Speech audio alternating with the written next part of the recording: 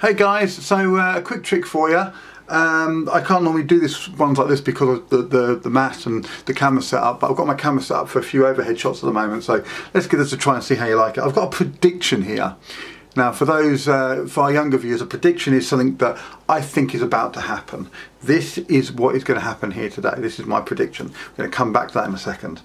Um, I asked Charlie to cut the cards for me and this is what she did. She, uh, she actually did physically cut them in half. Um, all these cards here, lots and lots of different cards. Let me turn around it that way. You might be able to see the, the suits and the numbers. So we've got lots and lots of different cards here. And I've turned these ones face down for a minute. We'll come back to that in a second. So what we're going to do is we're going to choose one card from the face up pile and one card from the face down pile and see if we can make something special happen.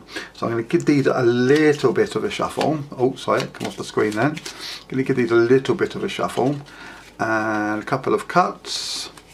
And I'm going to just cut them down onto the table. You can see they're all different. And we're going to go through. I'm just going to stop there. That'll do. That's good enough for me. And uh, that's our first one. In fact i will take the top card and I'll place it here.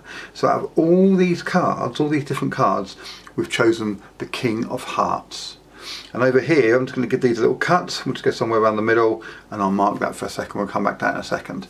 So what we've got here now is we've got two cards selected. We've got a card here and we've got a card here.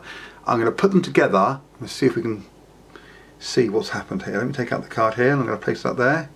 Okay, so I've got one card here and one card here. Okay, close these up and I'll put them to the side for a second. Okay, check this out because are you ready for this?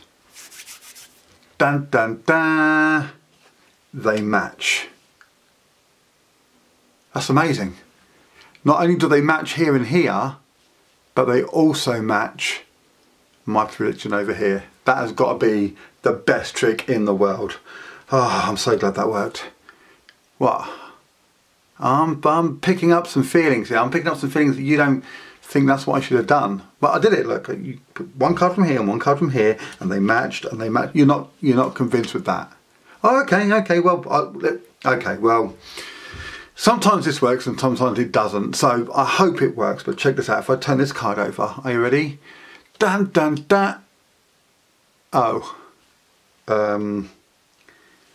Yeah, that's that's not what you'd call a traditional pairing, is it? It's the three of spades and the King of Hearts and one's black and one's red and one's a picture card and one's a number card. And what's quite interesting though is that they do match on that side. No, that's not a very good trick. Okay, well what is really interesting is all of these cards are different.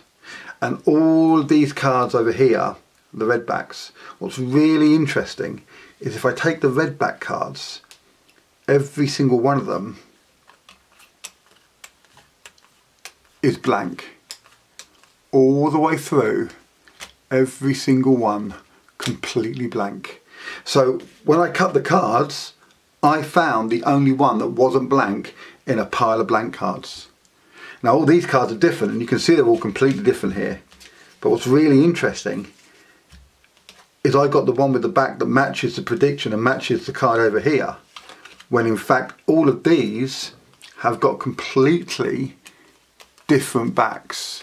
Every single one, no matter where you stop, every card is completely different.